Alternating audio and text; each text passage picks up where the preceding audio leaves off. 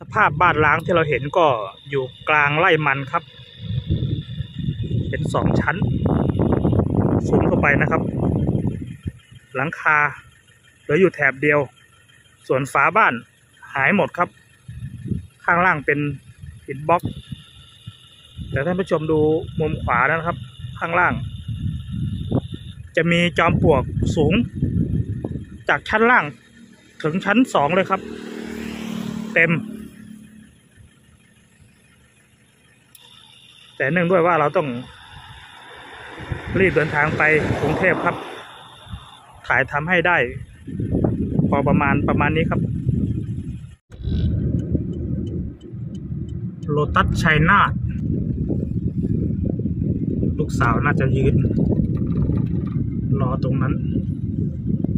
นี่เสื้อเหลืองๆมาแล้ว มาอยู่กับเพื่อนครับ บ๊ายบายค่ะ โอ้โหทรงผมเท่จังวะ ค่ะโหทำเล็บเลยลาบแดงๆ แล้วก็ใส่ดีนี่ ส้มตำข้าวเหนียวคนละกล่องกินไม่ได้เป็นไงรสชาติแบบไหนขอดูสิโอ้โห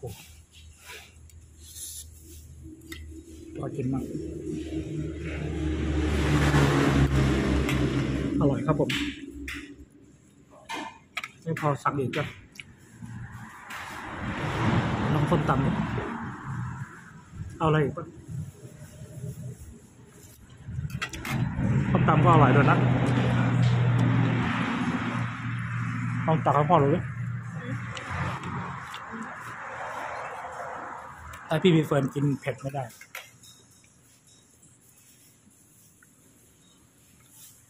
ดูรสชาติ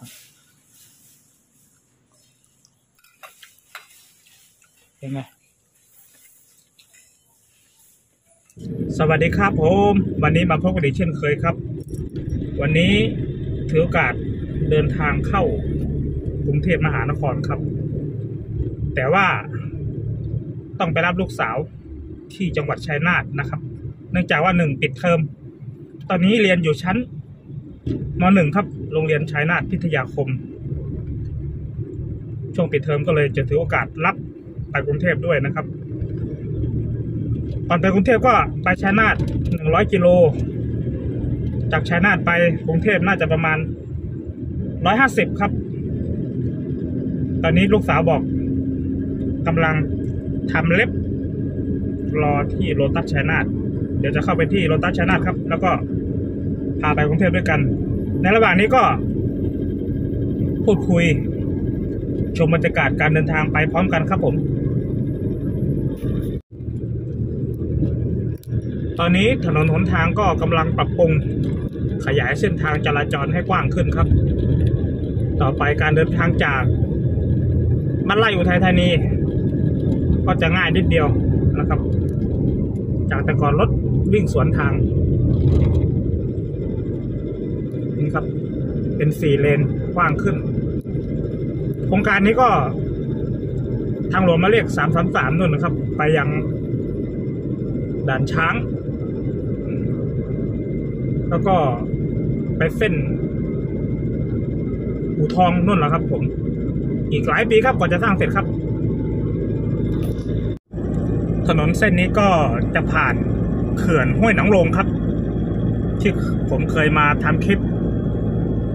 นอนอยู่ในเขื่อนก็ประมาณสองถึงสามครั้งครับ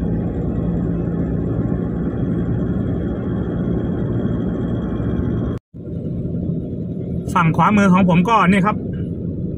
อ่างเก็บน้ำห้วยหนองโลง เมื่อสองสัปดาห์ที่แล้วก็ ผมมานอนที่นี่ครับที่ว่าเจอลมแรงๆเนี่ยครับฝนฟ้าขนอง เราก็จะมองเห็นซุปอาหาร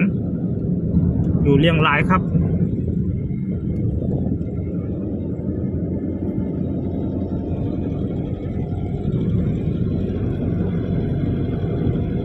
เภอเนินขามจังหวัดชัยนาทครับ เรามุ่งหน้า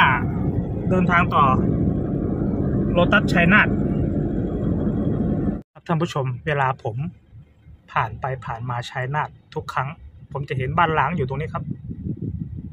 สภาพบ้านล้างที่เราเห็นก็อยู่กลางไร่มันครับ เป็นสองชั้น สูงเข้าไปนะครับ หลังคาเหลืออยู่แถบเดียว ส่วนฝาบ้านหายหมดครับ ข้างล่างเป็นอิฐบล็อก แต่ท่านผู้ชมดูมุมขวานะครับ ข้างล่าง จะมีจอมปลวกสูง จากชั้นล่างถึงชั้นสองเลยครับ เต็ม แต่เนื่องด้วยว่าเราต้องรีบเดินทางไปกรุงเทพครับ ถ่ายทำให้ได้ พอประมาณประมาณนี้ครับ ตอนนี้เราอยู่เขตอำเภอหันคาครับ ก็มุ่งหน้า ทางหลวง 340 ด้านหน้าครับ 340 ก็เริ่มจากสุพรรณบุรี ไปจดถนนทางหลวงหมายเลขหนึ่งใกล้ๆจังหวัดนครสวรรค์ครับแถวผ่านชัยนาท แล้วก็ไปออกท่าน้ำอ้อยแถวๆจังหวัดนครสวรรค์ท้องฟ้าไม่มีแดดครับวันนี้ ผมขับรถบริเวณสองข้างทางชัยนาทก็ปลูกข้าวเยอะครับ ท่านจะเห็นนี่ครับไรนา เขียวๆเลยครับตอน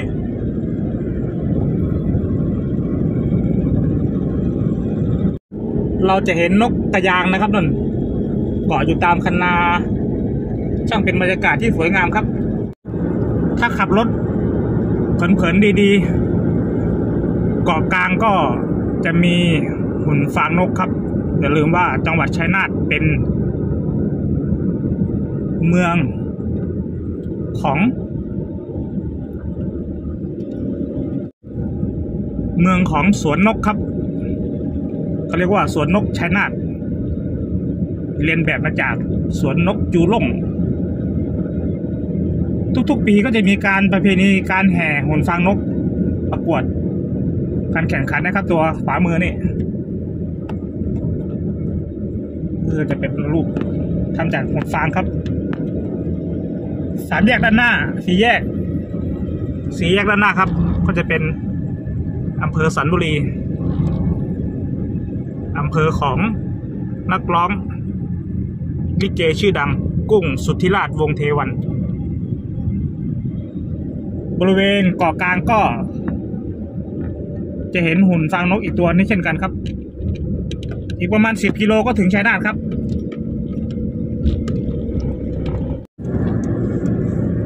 ตอนนี้เรามาถึงจังหวัดชัยนาทครับ เรากำลังจะขับรถ ข้ามแม่น้ำเจ้าพยา ขวามือสามารถไปเขื่อนเจ้าพยาได้ครับ ซ้ายมือไปจังหวัดอุทัยได้ สะพานข้ามแม่น้ำเจ้าพยาภูเขาที่เราเห็นไกลๆนั่นก็ อยู่ติดกับสวนนกชัยนาทครับ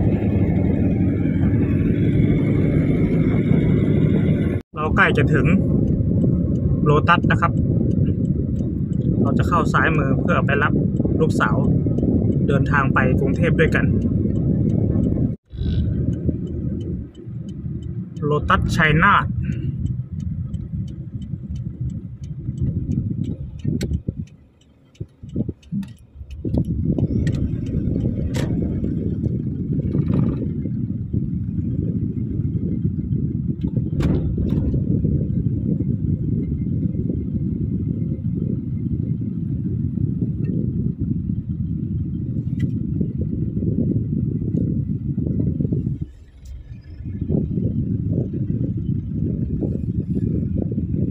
กสาวน่าจะยืนรอตรงนั้น นี่เสื้อเหลืองๆมาแล้วมาอยู่กับเพื่อนเขาบ๊ายบายค่ะอ้อโอ้โหทรงผมเท่จังวะ ค่ะโอ้ทำเล็บด้วย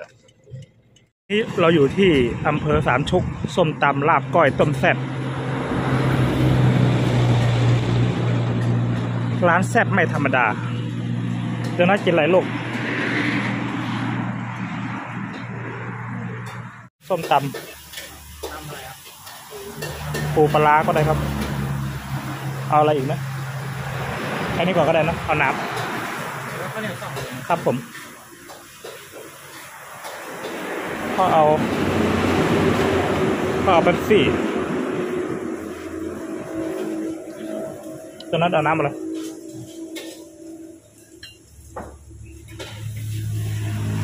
ปิดก่อน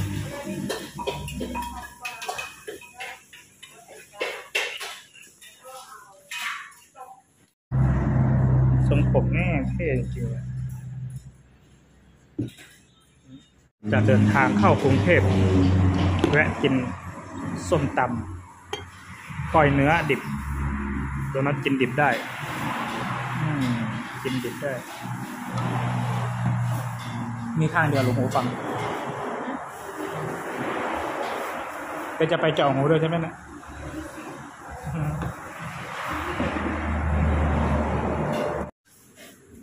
ลาบแดงๆ แล้วก็ใส่ดีนี่ ส้มตำข้าวเหนียวคนละกล่อง กินไม่ได้เป็นไงรสชาติแบบไหนขอดูโอ้โหพอกินมาก อร่อยครับผม ไม่พอสั่งอีกก็ลองส้มตำดิเอาอะไรอีกปะข้าวตำก็อร่อยด้วยนะลองตักให้พ่อดูดิไอพี่มีเฟิร์นกินเผ็ดไม่ได้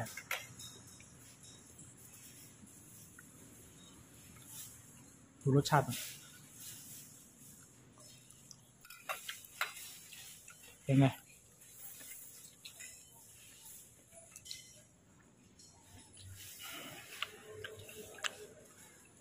เดี๋ยวกินข้าวเสร็จเดินทางเข้ากรุงเทพครับผมสำหรับคลิปนี้ขอปิดคลิปไว้เพียงแค่นี้ก่อนครับผมกินข้าวอร่อยด้วยกันครับ